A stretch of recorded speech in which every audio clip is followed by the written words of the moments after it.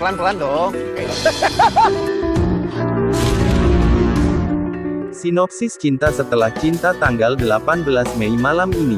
Pada saat itu Arya dan Starla terlihat sedang bersepeda di area taman.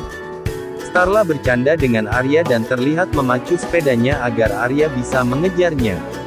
Namun tanpa diduga Arya terjatuh karena ada benda yang berada di depan sepedanya. Pak Fondi masih ingin segera membongkar rahasia mengenai Arya yang sebenarnya adalah anak Rudolf. Tante Mayang pun berusaha tetap ingin Pak Fondi agar merahasiakan hal tersebut. Niko butuh donor liver kan? Aku mau jadi pendonor buat Niko. Ayumi ketahui bila Niko sedang butuh donor untuk pemulihannya. Ayumi pun temui Mimi dan katakan bahwa Ayumi bersedia menjadi pendonor untuk Niko. Bagaimana kelanjutannya kita nantikan malam ini. Aku mau jadi pendonor buat Niko.